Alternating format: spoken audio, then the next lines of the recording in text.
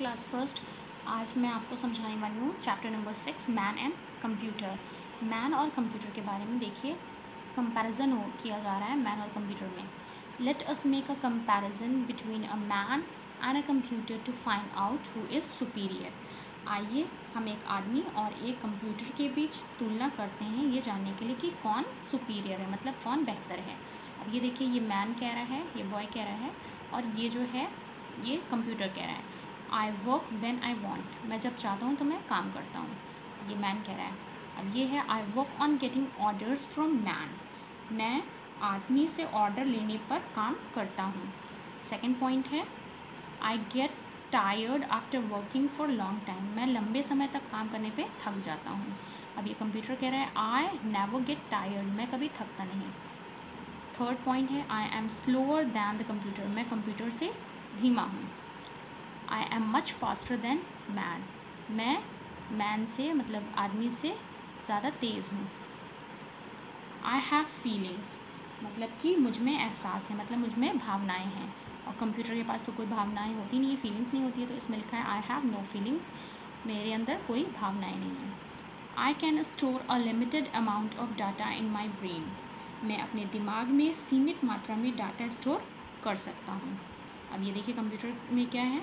I can store a big amount of data in my memory मैं अपनी memory में ज़्यादा मात्रा में डाटा स्टोर कर सकता हूँ मतलब रख सकता हूँ।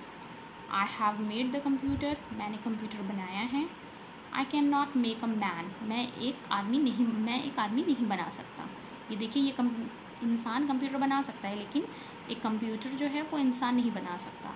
I can may I can make mistakes मैं गलतियाँ कर सकता हूँ। I never make any mistake मैं कोई गलती नहीं करता। अब यहाँ देखिए। Computer is obviously a smart machine as it is accurate faster and store huge data ज़ाहिर है कि कंप्यूटर एक स्मार्ट मशीन है, जैसे कि ये एक्यूरेट है मतलब सटीक आंसर देता है मतलब सही सही आंसर देता है।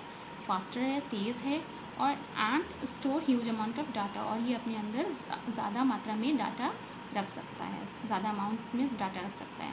But it works only when instructions are provided by man लेकिन ये सिर्फ़ तभी काम करता है जब इंस्ट्रक्शंस मतलब निर्देश मैन के थ्रू प्रदान किया जाता है मतलब दिया जाता है। जब मैन के थ्रू इंस्ट्रक्शंस देंगे, तभी ये जो है वर्क करेगा।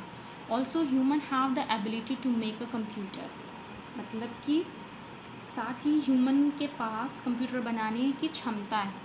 मतलब कि कंप्यूटर जो है वो ह्यूमन बना सकता है। So we can say that the man is more superior to the computer तो हम ये कह सकते हैं कि मैन जो है वो ज़्यादा बेहतर है कंप्यूटर से। इस चैप्टर में ज़्यादा कुछ नहीं है, बस कंपैरिजन दिखाया है मैन और कंप्यूटर के बीच। आपको तो समझ में आ ही गया होगा।